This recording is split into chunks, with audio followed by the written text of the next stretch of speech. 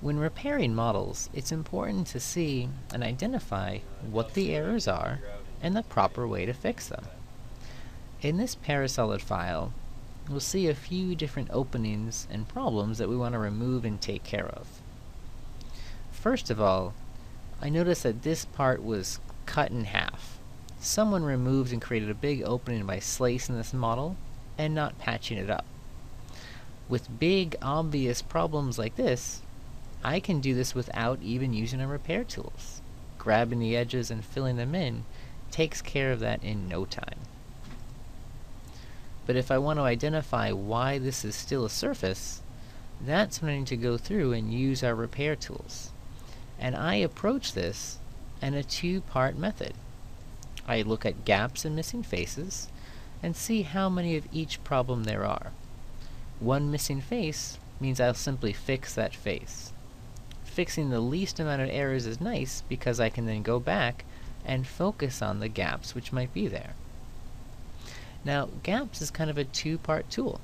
I like to see what a problem looks like, and in this case, notice this surface goes up and over it. There's something wrong with this surface. It doesn't make sense for me to try to fix that gap as a gap. Instead, deleting that face provides a nice big opening for a missing face to go in it. That's a great use of gaps to identify a problem and missing faces to fix it. And also if I want to quickly find where the next gap is, zoom to fit. Brings me right to our other area, and this is a gap that makes more sense. There's a separation between those edges. I'll use gaps to put the true edge in that location. One more gap to go, and I see it's the opening on the top of this model. I can click it to try to fix it, but I don't like how that looks. Instead, let's undo. You can always undo, and let's look at another way to fix it. It looks like this is actually an opening on the top edge of this face.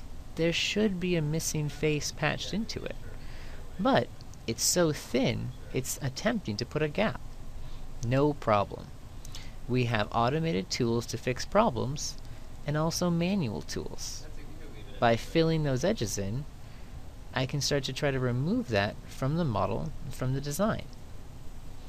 However, I don't like the way it created that new face out there. Let's undo one more time. Instead, if I take the fill tool, let's do a patch blend.